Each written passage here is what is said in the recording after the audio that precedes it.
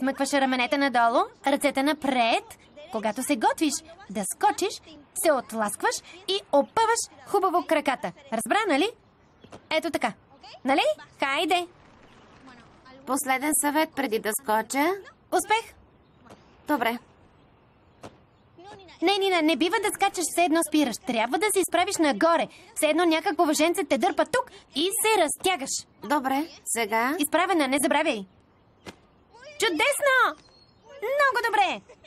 Трябва да призная, че ми беше много приятно. Нямам търпение да видя физиономията на Гастон, като го изненадам. Представяш ли си? Продължаваме. Не, чакай. Първо ще ти покажа едни стъпки, които тренирам.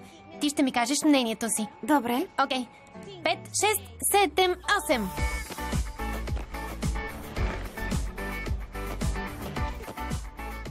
Не, и аз ли да го правя? Не може ли да си почине малко, за да свикна с стъпките и да ми е по-лесно?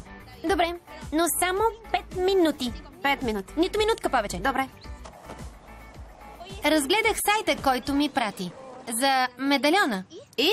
Откри ли нещо? Да, още много сайтове, но нито един не ми върши работа.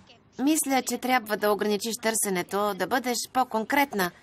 Знам ли, очертай границите, иначе резултатите ще бъдат безкрайно много. Да, но какво да правя? Мисля, че ми хрумна нещо. Кажи, Не, Луна. Гастоне. Гастон? Какво да правя? Отговори му. Ало, Гастон. Здравей, Нина, случило ли се нещо? С мен? Не, нищо. Защо? Бяхме се разбрали да се видим след часовете. Вярно, забравих. Извинявай. Ставаш като най-добрата си приятелка. Ела на празалката. Чакам те с сок. В момента не мога. Кажи къде си и ще дойда да те взема. Аз съм... У баща ми, О, баща ти ли? Но аз чувам уличен шум или нещо подобно. защото съм до прозореца за това.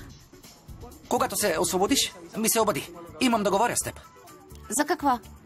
Нещо лошо ли ще ми кажеш? Гастон, ако е нещо лошо, кажи ми го сега, защото за миг през главата ми ще минат хиляди лоши предположения. Моля те. Не, не, спокойно, не е лошо. Ще ти подскажа нещо. Трябва да участваме заедно в състезанието. Нина! Слушай, трябва да затварям. Баща ми ме вика. После ще говорим. Хайде, до скоро. Ти си луда. Много са добри адреналините, нали? Страхотни са, особено Фернанда. Невероятно